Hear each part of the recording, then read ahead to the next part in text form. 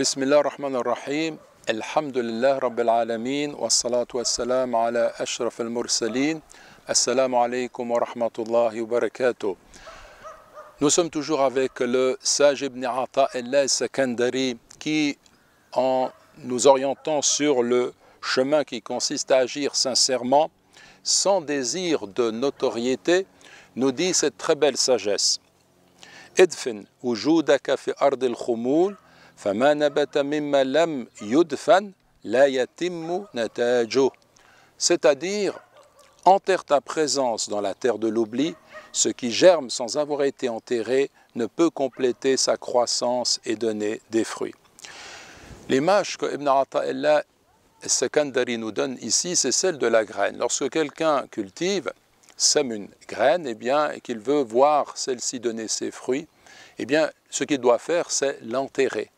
S'il laissait cette graine à même le sol, elle serait vite emportée par la pluie ou bien par le torrent. Elle ne pourrait pas en fait germer, prendre racine et donner euh, les fruits escomptés. Donc cela signifie que cette image qu'il nous donne, c'est de nous dire que sois sincère. Dans ce que tu veux entreprendre, ne recherche pas la notoriété.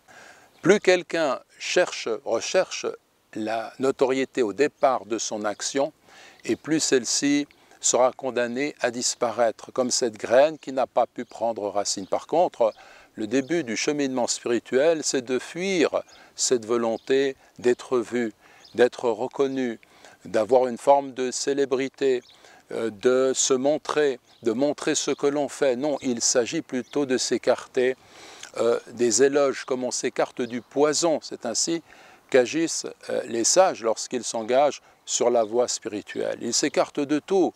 Ils cherchent à renforcer leur lien avec Dieu. Ils agissent dans l'ombre, en secret. Et plus ils vont dans ce sens, plus ce qu'ils font prend racine.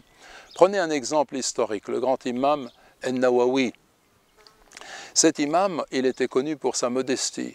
Il n'était pas quelqu'un euh, euh, qui euh, se présentait aux autres pour être vu.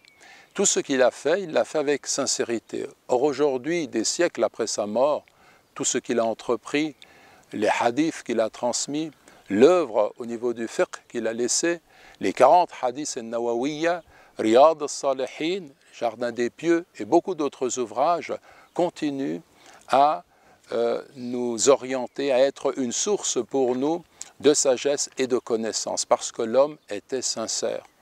À partir du moment où quelqu'un est sincère, la relation qu'il a avec Dieu est un secret. Il y a une part dans ce qu'il fait qui appartient du fait de cette relation avec Dieu à l'éternel. Et ce qui est lié à l'éternel ne peut pas disparaître.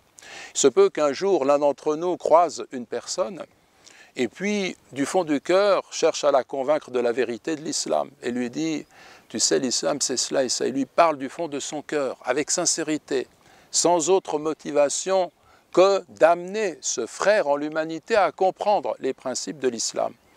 Alors, parce qu'il a dit cette parole avec sincérité, il faut qu'un jour elle donne ses fruits, parce qu'elle est liée à l'éternel, parce qu'elle est sincère. Donc le secret de tout ce que nous pouvons entreprendre, c'est d'agir sincèrement en vue de notre Créateur. Et si nous n'avons pas cette motivation au départ, eh bien, ce que nous allons faire tôt ou tard, risque d'être emporté. Jazakumullahu khayran, wassalamu alaikum wa rahmatullahi wa barakatuh.